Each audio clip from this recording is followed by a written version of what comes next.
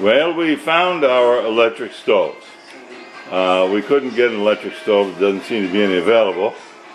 So they sell these things. They're, I'll show a picture of it a little bit later when we take the pot off. But it's, it's made of like clay, uh, fired so it's solid. And it has a makeshift burner inside, which you'll see a picture of later. And uh, the little wires just plug into the wall and back and uh, they're just connected, twisted onto bolts that are uh, in the back of this thing. You wouldn't want to touch it. Uh, actually, if you look closer, you can see the hot burner element right there. And this whole little stove cost us 300 pesos, which is less than $10.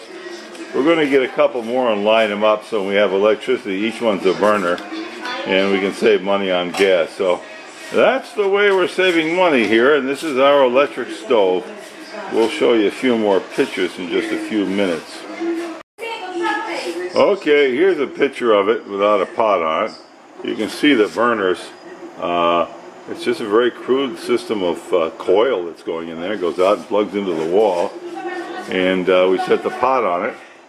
And it cooks our food and uses no high-priced propane gas, which we have to buy, which is really, really, really expensive right now. Gasoline is almost $6 a gallon right now, so propane gas is expensive. So this is our Dominican electric stove, which saves us money to use. Somebody was pretty innovative.